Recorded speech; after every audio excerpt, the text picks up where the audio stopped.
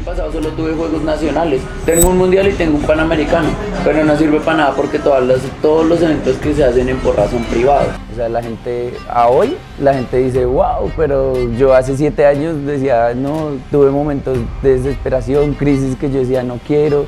Acá nos decían, usted después de las seis no puede estar acá. Porque ustedes ya saben, no solo nos decían eso. Era muy, era muy loco porque yo me iba solo y entrenaba. Pues empezaba a hacer acrobacia, solo, sin música. Pero pues de ahí para Bucaramanga en el bus fue horrible, fue el peor viaje de mi vida.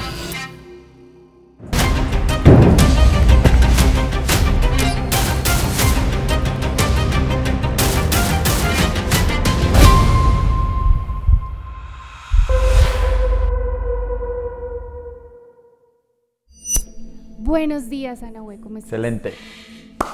¡Listo! Compañero, preséntate, cuéntanos quién eres tú. Eh, mi nombre es Juan Steven Rodas Montoya, no me llamo Anahue. Tengo 23 años y vivo en Niquia.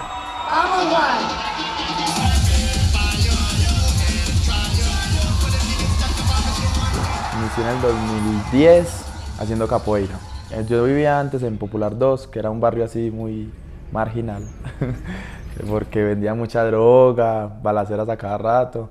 Y llegó un proyecto que llamaba Pedagogía Vivencial. Y era artes, zancos, música, breakdance y capoeira. Y pues de esos, capoeira me gustaba, me gustó. Es que me cascaban. Cuando yo era pequeño me cascaban todos los, de, los del barrio. Pues yo vi que ahí como que uno peleaba, aprendía a pelear pues dando patadas. Yo no, venga, me- yo con Villato, yo vamos a meternos a capoeira, vamos.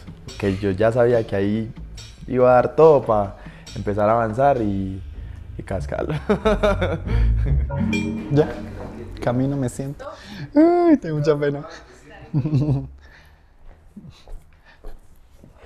Hola, Juli, bienvenido. Hola, ¿cómo estás? Bien, buenos días. Buenos días, Estás muy guapo el día de Gracias. Bueno, mi nombre completo, pero no lo pongan completo. Julián David Lotero Villada, tengo 25 años. Eh, nací en la ciudad de Medellín, me crié en la ciudad de Medellín. Mis primeros inicios en el porrismo fue en la ciudad de Medellín. Entonces ahorita estoy en Bucaramanga trabajando, mirando cosas de estudio, mirando cosas a futuro y allá estoy. ¿Cuántos añitos tenías cuando empezaste a entrenar? Yo le pongo nueve años, nueve, diez años tenía cuando empecé en el porrismo. Empecé en el barrio, en Medellín, un barrio se llama Castilla, yo soy de allá, mis padres viven allá, entonces inicié en el barrio. Fue una actividad que hizo la alcaldía, el, gobierno de Medellín, pues es algo que se llamaba en ese entonces Escuelas Populares del Deporte, que lo hacía el INDER. Entonces lo que hacía era llevar deportes a cada barrio. Entonces lo que hicieron en mi barrio fue llevar porrismo, llevaron baloncesto, llevaron fútbol, llevaron badminton. Entonces me interesó mucho el porrismo, me interesó mucho el baloncesto y pues estuve como en los dos deportes una temporada y luego ya me quedé del todo en porrismo. Julián Rodríguez, escena 1, plano 1.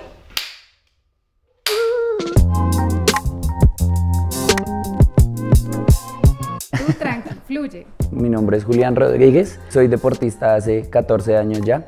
He navegado en este mundo bastantes años, con altos, con bajos, pero pues acá sigo en pie, sigo trabajando por este deporte tan bonito y pues de la mano de ustedes.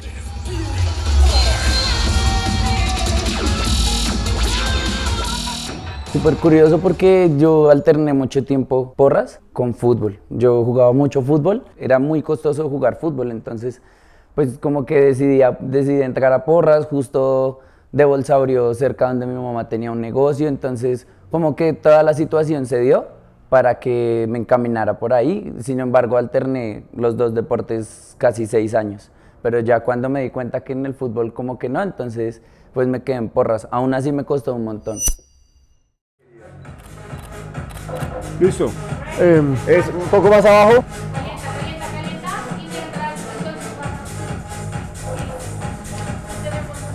No le, no le encanta. O sea, a mí sí y no. Bueno, Ahora, igual. ¿Qué molesta? Es que el cielo ya se condensa mucho. y no se ve. condensa. Eh, con el tema de Steven Anahue, yo lo conozco pues obviamente desde Medellín, Nosotros estuvimos juntos en el equipo de Acrodance. O sea, yo soy vieja guardia con él, crecimos, nos criamos juntos en ese equipo. Entonces, por ese lado tenemos pues como esa conexión. Miró otras cosas, gimnasia, le gustaba el parkour, la capoeira, entonces ya empezó a hacer otras actividades, empezamos a tener menos contacto, pero pues igual ya nos conocíamos.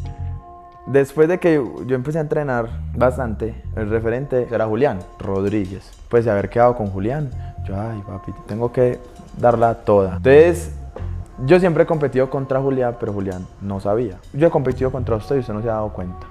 Usted me ha caído mal, me ha caído bien, me ha motivado, me ha desmotivado. Usted no se da cuenta, pero voy contra usted, contra viento y marea. Con Steven somos como me decía, sí, yo es que yo a usted lo tengo ahí de referente y si yo le quería ganar a usted. Y yo le dije, pero vea que ahora estamos y tenemos que compartir y tenemos que trabajar por algo en pro a, los, a esto. Entonces, disfrútelo, bacano que ya me pudo soltar y pues nada, ahora vamos a estar al lado trabajando. Entonces fue muy curioso porque yo a él también lo respeto un montón, a mí es un chico me parece muy, muy.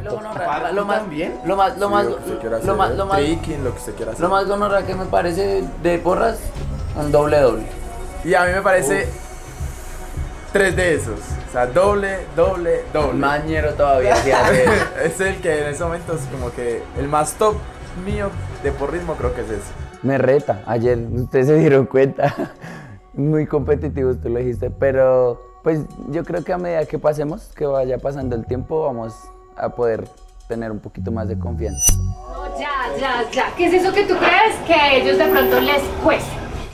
Como he tenido competencia contra Julián mucho tiempo, entonces lo puedo retar. ¿Tú qué crees? ¿Qué crees? ¿Cuál es tu fortaleza que a ellos de pronto mm, les costaría un poquito? A Juli de pronto el partner Ajá. y algunas combinaciones de gimnasia. Y a Steven también el partner. Entonces, el reto es fifla con giro. Fifla y antes de caer gira. ¿Listo? A ver si Julián me lo va a hacer. Ok. El reto consiste, el sábado de retos con Top Team. El reto consiste en hacer un lanzado a Ozone. Tenemos dos minutos para medir los tiempos con la flyer, calentarlo y solo tenemos una oportunidad para lanzarlo. Yo creo que les va a costar. Hasta ahorita pues yo creo eh, que los chicos de Top Team eh, no son tan buenos bailando. Entonces ahorita mi reto para ellos es que voy a elegir, creo que allá hay niñas de Colombia que bailan súper bien, les voy a pedir que nos enseñen algo de su esquema, algún baile, alguna coreografía, dos octavas, tres octavas, de pronto mucho, a los tres y a mirar quién lo hace mejor y teniendo un tiempo determinado, dos minutos, quién lo hace mejor en dos minutos, quién se lo aprende, quién no se lo aprende y quién la da mejor. ¿Puede ser? Y eso es una cosa de tres llegamos, minutos. hablamos algo Tres, cada uno minutos. y... No, amor, por ahí jugamos. 15 minutos me demoro con el jueguito y con todo. Ah, eso. Pero la idea O sea, es para que tampoco todos que sea como vinimos a las fotos y nos vamos, sino también como que ellos... integrarse un poquito con ellos. Ah, bueno, y obviamente que estén abiertos a que si las niñas quieren fotos con ustedes. que- Sí, o sea, estén abiertos porque de pronto, video, sí, estar de pronto con esas cosas vayan a ¿Cómo pasar. te sentiste cuando fuiste a entrenar con estas nuevas niñas que hacen parte de esa generación y tienen ese legado eh, de las Colombian que tú recuerdas? Me gusta, o sea, el hecho de que sean chiquitas me gusta porque se ve, o sea, como lo que era viejo se ve ahorita en las nuevas. Se ve como ese mismo estilo, ese porte, los uniformes, los peinados, o sea, se ve el mismo estilo de Colombia que nunca se pierde, pero en las nuevas generaciones, entonces eran niñas muy bonitas, o sea, se sentía muy chévere conocer niñas tan chiquitas con esa pasión por entrenar. Una niña de las Colombias me muestre su baile de tres octavas. Yo en cinco minutos me aprendo perfectamente ese baile. Yo sé que yo no.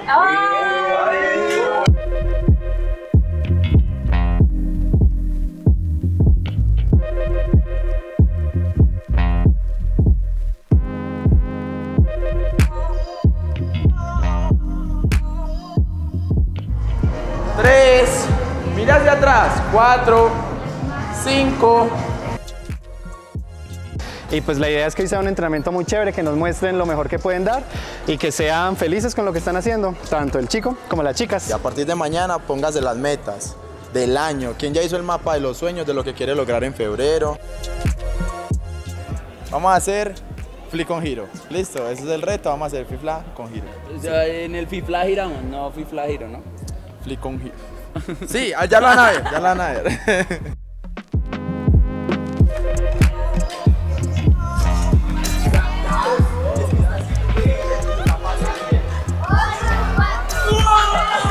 Steven puso la gimnasia, aunque soy bueno en gimnasia, él puso un, reto dificilísimo y me dio susto.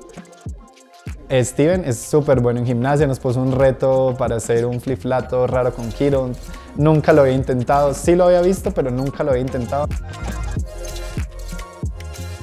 Mi reto para los chicos del Top Team, yo elegí a tres chicas de, la, de las Colombian para que nos enseñen cada una la misma sección de baile. Dos minutos para que las chicas nos enseñen a cada uno dos octavas de baile y a ver quién se la aprende mejor. Actitud, pelo, eh, escenario, coreografía, todo. Técnica. Pelo. ¿Lo aceptan? ¿Lo aceptan? Va, ok. Dos minutos. Julián Lotero, eh, lo que digo, a Julián lo admiro mucho porque mucha actitud y mucha expresión en las rutinas.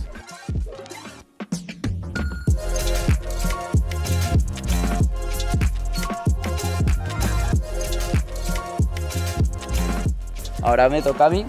Y mi reto va a ser con una chica del grupo más grande de Colombia, un lanzado a. Solo vamos a hacer un lanzado a que se vea técnico sin movernos y bonito. No, Ouson. Dos manitos, sí. Lanzado uso, fácil. Está fácil. Pero fue súper chévere porque yo puse algo fácil pensando en ellos, en decir, pues vamos a hacer algo fácil. Y ellos eso fácil pues, lo hicieron ver muy fácil. Obviamente sí está el modo competitivo. Eh, la próxima habrá más oportunidades. Esto lo que vamos a hacer para desempatar este reto es que vamos a hacer lo mismo, pero entonces le vamos a agregar uno más cuando subimos. Listo, a ver a quién le va mejor. Julián, amarre los pantalones porque me lo va a llevar. ¿Ok?